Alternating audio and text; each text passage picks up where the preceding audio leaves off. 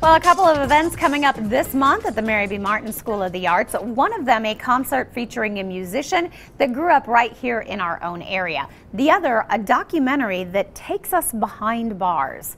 Anita DeAngelis is here now with more on these events that are coming up this month. It's good to have you.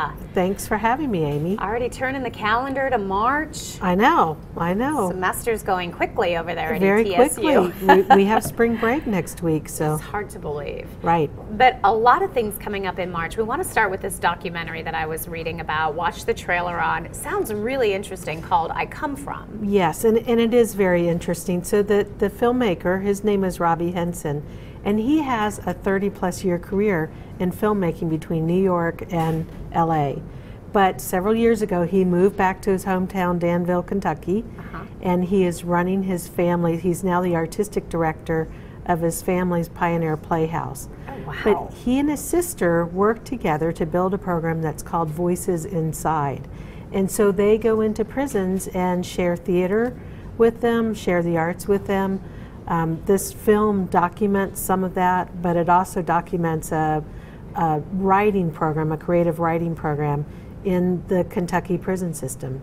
So it kind of shows you the difference this can make by yes. I'm sure a lot of these people have never had these experiences. Yeah, have not had the opportunity, have not had had people encouraging them to express their feelings in a way that's that's positive instead mm -hmm. of a way that's negative.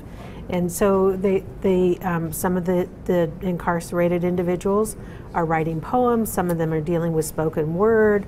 Um, there's a playwright that's featured in this film that's really quite an interesting story. So, you know, it's just a, a positive situation for people to go into these prisons. You often wonder what what might have been, what might have happened right. if something like this would have been, especially for the ones that are really feeling the power. Right, and and I and I think you know giving people some hope for the future because not everyone who's incarcerated is going to be there for their yeah. their lifetime. So giving them some skill sets that will help them in the future is important. That's really cool. And the filmmaker will actually be here? Yes, so this is part of our Southern Circuit tour of independent filmmakers.